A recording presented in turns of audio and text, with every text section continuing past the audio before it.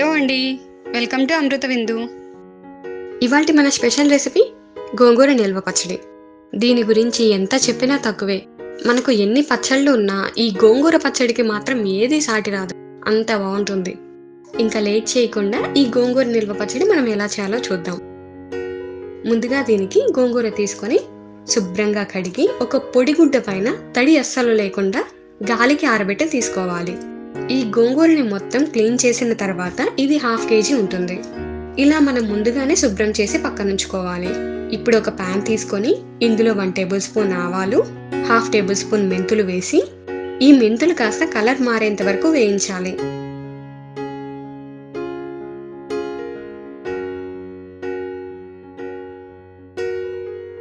ఇప్పుడు వీటిని పక్కకు తీసుకుందాం.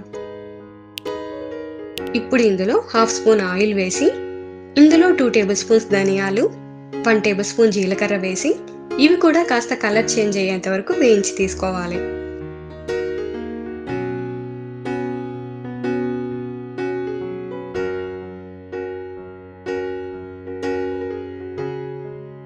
ఇప్పుడు ఇందులోనే హాఫ్ స్పూన్ ఆయిల్ వేసి వంద గ్రాముల ఎండుమిరపకాయలు వేసి వేయించి తీసుకోవాలి. మనం గోంగూర హాఫ్ కేజీ తీసుకున్నాం కాబట్టి హాఫ్ కేజీ గోంగూరకి వంద గ్రాముల ఎండుమిరపకాయలు తీసుకుంటే కరెక్ట్గా సరిపోతుంది. ఈ ఎండుమిరపకాయల్ని తక్కువ మంట మీదే కాస్త కలర్ మారేంత వరకు వేయించి తీసుకోవాలి.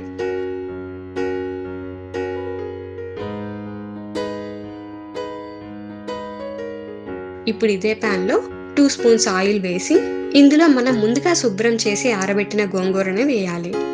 ఇక్కడ నేను చిన్న ప్యాన్ తీసుకున్నాను కాబట్టి నేను తీసుకున్న గోంగూరని టూ పార్ట్స్గా డివైడ్ చేసి వేయిస్తున్నాను. ఈ గోంగూరని తక్కువ మంటపైనే పూర్తిగా మగ్గేంత వరకు వేయించి తీసుకోవాలి.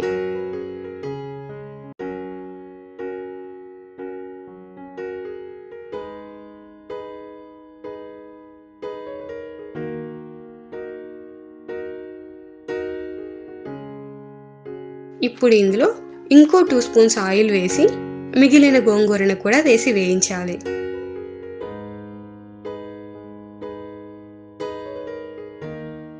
ఇది కాస్త వేగిన తర్వాత ఇందులో పెద్ద నిమ్మకాయ సైజ్ అంతా చింతపండు వేసి వేయించాలి. గోంగూర పుల్లగానే ఉంటుంది కదా మళ్ళీ చింతపండు ఎందుకు అనుకుంటున్నారా? అది కూడా చెప్తా. ఇక్కడ నేను తెల్ల గోంగూర తీసుకున్నా. ఇందులో పులుపు కాస్త తక్కువగా ఉంటుంది. అదే మనం ఎర్ర గోంగూర తీసుకుంటే చింతపండు వేయాల్సిన అవసరం లేదు. ఈ పులుపుని కాస్త బ్యాలెన్స్ చేయడానికి మాత్రమే ఈ చింతపండు వేశాను. ఇవి వేగిన తర్వాత తీసి పక్కనుంచాలి ఇప్పుడు ఒక మిక్సీ జార్ తీసుకొని ఇందులో మనం ముందుగా వేయించిన ఆవాలు మెంతులు ధనియాలు జీలకర్ర వీటన్నిటినీ వేసి గ్రైండ్ చేసి తీసుకోవాలి. ఇప్పుడు ఇందులో మనం ముందుగా వేయించిన ఎండుమిరపకాయలు వేసి మరోసారి గ్రైండ్ చేసి తీసుకోవాలి. ఇప్పుడు ఇందులో మనం వేయించిన గోంగూర చింతపండు కూడా వేసి గ్రైండ్ చేయాలి.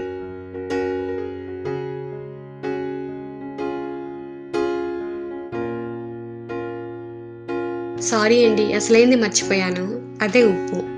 మనం గోంగూర చింతపండు వేసాం కదా వాటితో పాటే సరిపడా ఉప్పుని కూడా వేసి గ్రైండ్ చేసి తీసుకోవాలి. ఇప్పుడు ఇలా గ్రైండ్ చేసిన దాన్ని ఒక బౌల్లోకి తీసుకుందాం.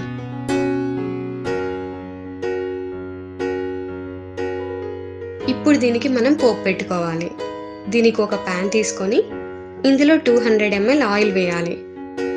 ఈ ఆయిల్ వేడయ్యాక ఇందులో హాఫ్ టేబుల్ స్పూన్ ఆవాలు హాఫ్ టేబుల్ స్పూన్ జీలకర్ర అలానే ఒక చిన్న వెల్లుల్లి గడ్డ తీసుకొని పొట్టు తీసేసి వెల్లుల్లి రెబ్బలు వేయాలి. అలానే చిటికెడి ఇంగువ మూడు ఎండుమిరపకాయలు వేసి వేయించాలి.